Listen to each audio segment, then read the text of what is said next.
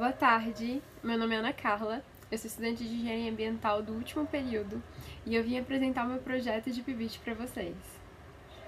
O meu trabalho, ele se trata da criação de uma metodologia de marketing para a criação da startup Geofluxo, a qual é um empreendimento na área de inovação e tecnologia que fez parte do programa de pré-incubação da Multicubadora de Empresas do CDT da UNB. A Geofluxo ela é um empreendimento que surgiu do grupo de pesquisa geotécnica de alto desempenho da Universidade de Brasília, do programa de pós-graduação em geotecnia.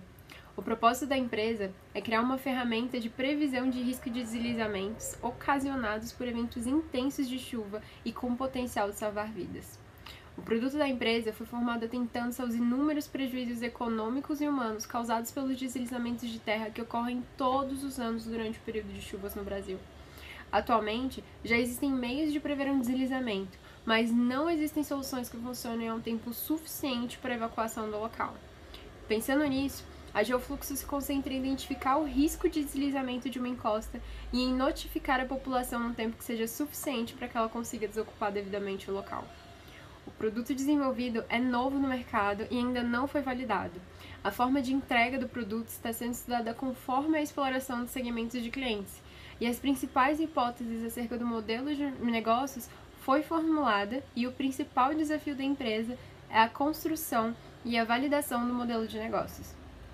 Para desenvolver o marketing da empresa e contribuir para a validação do modelo de negócios, é que foi desenvolvida a proposta econômica de marketing digital apresentada aqui para vocês. A proposta econômica de marketing digital visa a implementação abreviada do embalde marketing, abarcando as partes essenciais do ciclo de vendas, que são a atração, o relacionamento e as vendas. Para a etapa de atração, a Geofluxo desenvolveu a identidade visual no processo de pré-incubação do CDT, obtendo assim a seguinte identidade visual. Essas são as camisas desenvolvidas, cartão de visitas da empresa e, por fim, o material corporativo da empresa Geofluxo. O foco da atração digital dos clientes nesse primeiro momento deve se dar pelo uso de redes sociais.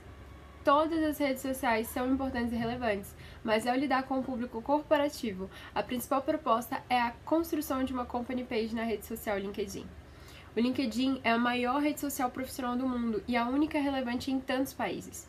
As empresas que têm uma presença digital relevante no LinkedIn são bem vistas por outras empresas e, mesmo que as vendas não ocorram diretamente pelo LinkedIn, ele é um ponto de contato importante em negociações corporativas. A estratégia nesse caso é trabalhar com as hashtags das publicações, pois isso faz com que o algoritmo do LinkedIn classifique o conteúdo da empresa e o exiba gradativamente para as pessoas com interesse em potencial nas publicações. A segunda etapa de relacionamento a nossa estratégia é construir a autoridade por meio de conteúdo e promovê-lo em mídias sociais e em mídias pagas.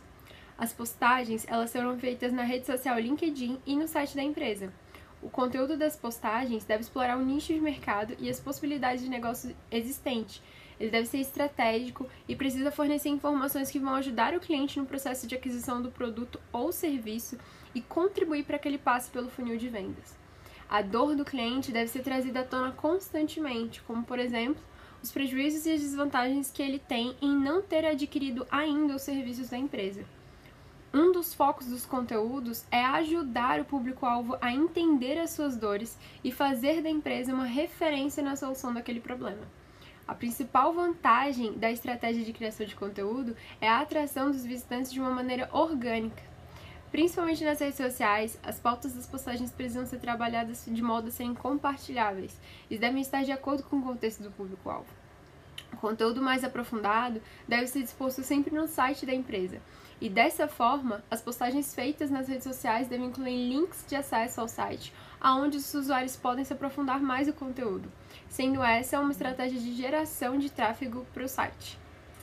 A terceira etapa, que é a etapa de vendas, a estratégia aqui é a elaboração de materiais expositivos contendo exemplos de trabalhos realizados, o catálogo de serviços e o material contando as estratégias de pagamento a serem disponibilizadas para sanar as dúvidas dos clientes.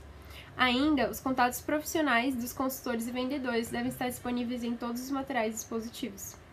Esse é um resumo do meu trabalho. Muito obrigada pela sua atenção e tenha um ótimo dia!